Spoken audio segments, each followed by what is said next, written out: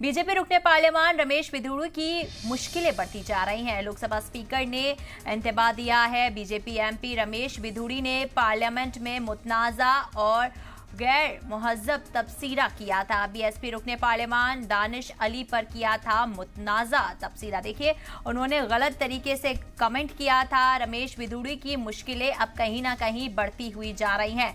Lok Sabha speaker ने इंतबा दिया है। आपको बता दें कि उन्होंने दानिश अली पर मुतनाज़ा बयान दिया था। मुतनाज़ा तरीके से उन्होंने उन पर कमेंट किया था, लोकसभा स्पीकर ने दिया, उन्हें इंतबा।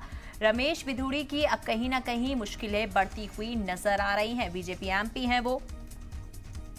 देखिए, उन्होंने जिस तरीके से मुतनाज़ा कमेंट किया था, बीजेपी रुकने पार्लियामान रमेश विधुड़ी की मुश्किलें अब कहीं ना कहीं और ज़्यादा बढ़ती हुई नज़र आ रही हैं। लोकसभा स्पीकर ने उन्हें इंतबा दिया है, बीजेपी एमपी रमेश हैं। आपको बता दें कि पार्लियामेंट में मुतनाज़ा और गलत कमेंट उन्होंने किया था। बीएसपी रुकने पार्लियामान दानिश अली पर उन्होंने मुतनाज़ा तबसरा दिया था। जिसके बाद अब उनकी मुश्किलें बढ़ती हुई नज़र आ रही हैं।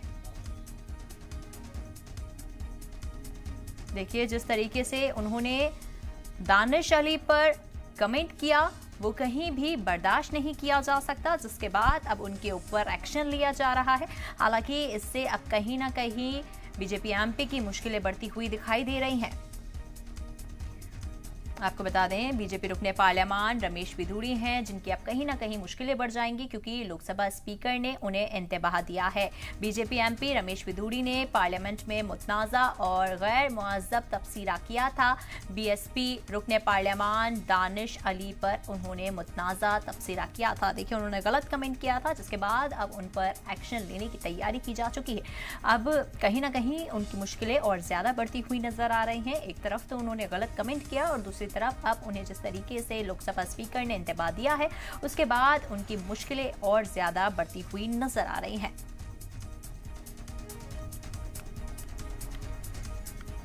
बीजेपी रुकने पार्लियामान रमेश बिदूड़ी की मुश्किलें और ज़्यादा बढ़ रही हैं। लोकसभा स्पीकर ने उन्हें इंतबाह दिया है।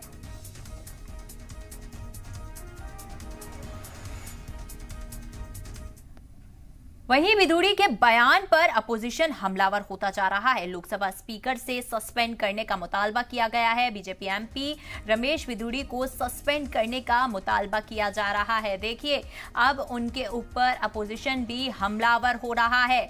लोकसभा स्पीकर से दरख्वास्त की है, मुतालबा किया है कि उन्हें सस्पेंड किया जाए। बीजेपी एमपी रमेश विदुड़ी को सस्पेंड करने का मुतालबा किया जा रहा है। एक तरफ़ उन्होंने गलत तरीके से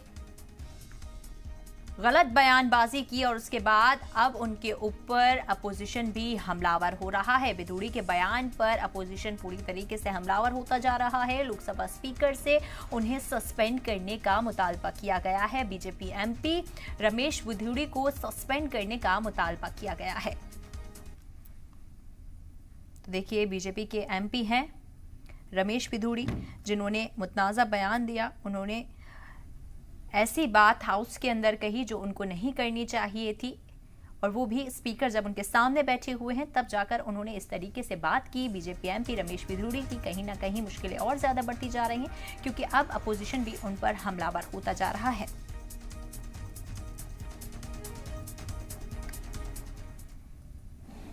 ये बिधूरी जो कह रहे हैं, ये बीजेपी की मंशा है।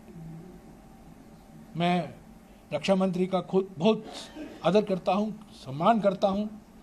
उनकी मजबूरी थी, उनको उठना पड़ा, उन्होंने माफ़ी मांगी।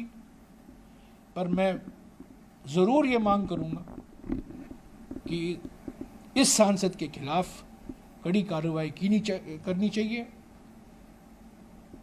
आम आदमी पार्टी के दो सांसद राज्यसभा में सस्पेंड हुए हैं, राघव चड्डा और संजय संजय सिंह। क्योंकि वो नारे लगा रहे थे। वो प्रोटेस्ट कर रहे थे। और उनको सस्पेंड किया गया। और बिधूरी ने जो भाषा का इस्तेमाल किया है। पक्ष के लोग कुछ भी बोलते हैं तो उनका बोलना बंद कर दिया जाएगा, उसको एक्सपंज कर दिया जाएगा। लेकिन जो शासक दल के सांसद हैं, वो लोगों के साथ गाली गलौज कर सकेंगे। जो अल्पसंख्यक हैं उनको, उनके उनके बा, उनके लिए जो बहुत ही गंदे और घटिया अल्फाज इस्तेमाल किए जाते हैं, उनको इस्तेमाल कर सकेंगे और कुछ नहीं होगा। और हमारा जो, हम, जो सुप्रीम कोर्ट है, जो कहता है, हेट स्पीच तो हम बिल्कुल उसकी इजाज़त नहीं देंगे, इसको हम रोकेंगे। क्या वो हस्तक्षेप करेगा इस मामले में?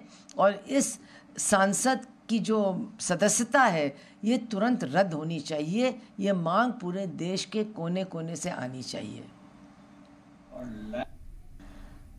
देखिए, लालू जी के पीछे तो और विपक्ष के तमाम नेताओं के पीछे तो सरकार पड़ी है और वो तमाम तौर तरीके इस्तेमाल कर रही है। तो अब वो आएँगे और जो भी उनको कहना है कोर्ट के सामने रखेंगे। देखते हैं क्या होता है, लेकिन निश्चित रूप से उनको जेल और वहीं national conference leader Omar Abdullah ने कहा कि बिदूड़ी का बयान पूरे मुस्लिम तबके के खिलाफ है। बीजेपी के मुस्लिम लीडरान इसे किस तरह बर्दाश्त कर रहे हैं? अगर सिर्फ़ टेररिस्ट ही कहा होता, उसकी तो हमें आदत है। आप मेरा सोशल मीडिया देखिए तो टेररिस्ट बुलाने में तो ये थकते नहीं है, लेकिन उसके साथ जो जो कहा, मैं आपके चैनल को तो लोग देखते हैं। आ, मैं वो अल्फाज यहाँ दोहराना नहीं चाहता हूँ। लेकिन शर्मिंदा भी होता हूँ कि पार्लियामेंट में इस तरह के अल्फाज इस्तेमाल किए गए। नाराज़ भी होता हूँ क्योंकि आखिरकार ये तमाम मुसलमानों के खिलाफ ही अल्फाज इस्तेमाल हुए। समझ में नहीं आता वो लोग जो बीजेपी के अंदर हैं मुसलमान या बीजेपी के साथ जुड़े हुए हैं वो किस तरह ये बर्दाश्त करते? मैं तो बीजेपी के बाहर रह के भी आ, मुश्किल आ, समझता हूँ इन चीज़ों को बर्दाश्त करना। जो लोग इनके साथ मिलके काम करते हैं वो रात को सोते कैसे हैं? जब उनके साथी उनके बारे में इस तरह सोचते हैं। वो अल्फाज जो उन्होंने इस्तेमाल किए वो तमाम मुसलमान कौम के खिलाफ इस्तेमाल हुए। सिर्फ़ एक ऑनरेबल एमपी के खिलाफ नहीं। इससे पता चल जाता है कि इन लोगों के मुसलमानों के तहत सोच क्या है। वो हमारे बारे में क्या सोचते हैं? शर्म आनी चाहिए इन लोगों को। नया पार्लियामेंट, लेकिन वही पुरानी सोच, घटिया सोच।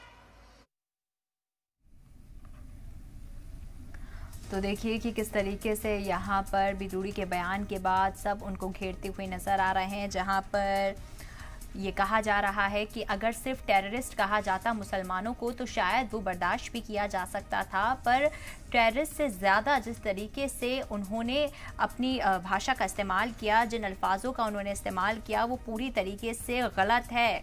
National conference leader Omar Abdullah ने कहा कि बिदूड़ी का बयान पूरे मुस्लिम तबके के खिलाफ है। मुझे तो ये बात समझ में नहीं आ रही कि बीजेपी के मुस्लिम लीडरान इसे किस तरीके से बर्दाश्त कर रहे हैं। आखिर कोई एक्शन क्यों नहीं लिया जाता?